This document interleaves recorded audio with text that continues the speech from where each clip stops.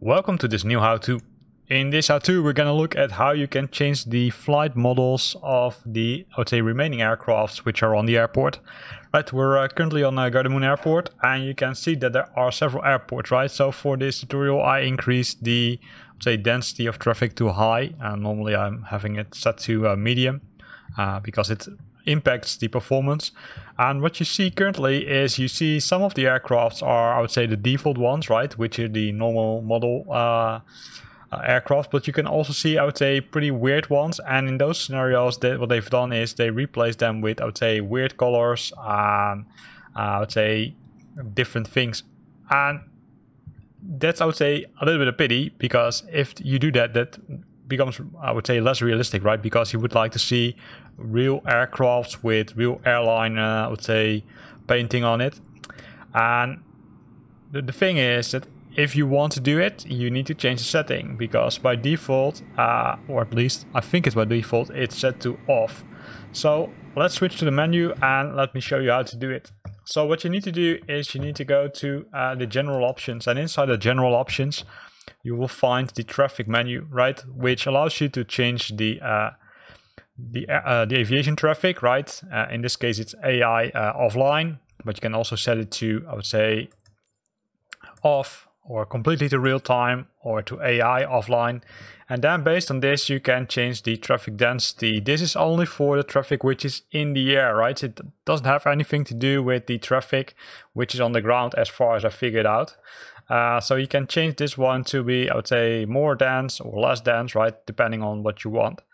Uh, but if you scroll down, you can find the AI and multiplayer traffic detail because that's the detail of the aircrafts uh, which you encounter during your flight or during your taxiing on the airports.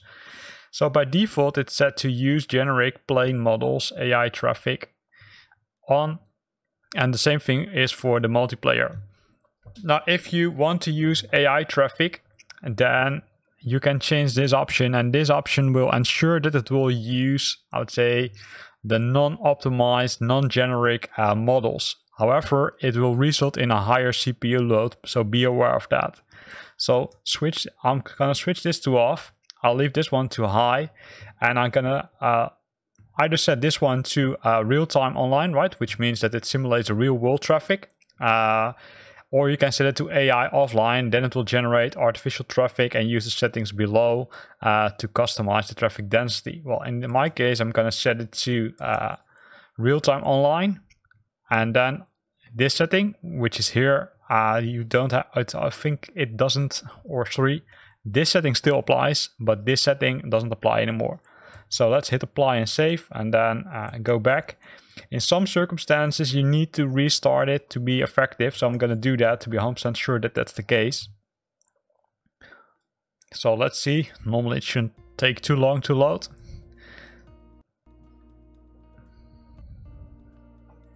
But it depends because we now changed an option, right? Some, sometimes it takes a little bit more time. Uh, so click ready to fly. We're already at the exterior of the aircraft. And you still see, I would say, the weird ones, right? That's, I would say, kind of normal. Uh, let me try to turn again. But if we move further and further, and hopefully we do see some other traffic, because that's always the question, where you should see, I would say, aircrafts which are painted in the color of one of the liveries which you have installed. For example, what we now see is this nice DC6, right, with the uh, Icelandair colors. That's normally, I would say, should will not be visible if you're using the generic models, because the DC6 uh, is not part of the uh, normal flight or normal aircraft, sorry. Then if we continue our trip, let's see if we spot something different here. Well, here we see, uh, for example, the Air Canada livery. The Air Canada livery is also not normally part of it. I think this is, they would say, this is one which has, I would say, less detail as you can see. Uh, and keep that in mind, it will use the level of detail which is, I would say, applied to the livery, right? So don't expect that it will pimp the uh, liveries. Uh, here we've got another one, the FedEx. So you can see that by switching on that option, it will increase the CPU memory usage, so be aware of that. But uh, it will give you a more realistic view. So once again, if you want to change it, go to general options. In the general options, go to uh, traffic, then change it either to real-time online or uh, all off or AI offline, sorry. If you change the AI offline, these settings will still apply. If you cha change to real-time online, it will also apply as far as I figured out. So that's good. Uh, if you want to have real models, so besides the default uh, flight models and liveries in Flight Simulator, also I'd say the custom ones like uh, the A320 from uh, Phoenix, uh, maybe the uh, fly-by-wire one, maybe someone some aircraft from Aerosoft. Then switch this option to off because in that case it will, let's say, use those aircrafts and liveries. Uh, depending on the var uh, variety, you can uh, change this option to medium, right? If you change to medium, then you're changing the, I would say, randomization of the traffic and the ground vehicles and airport workers. Uh, so that will result in, I would say, less CPU and memory load. So be aware of that. So this and this both has impact on memory and CPU. So keep an eye on it if you're playing with these settings.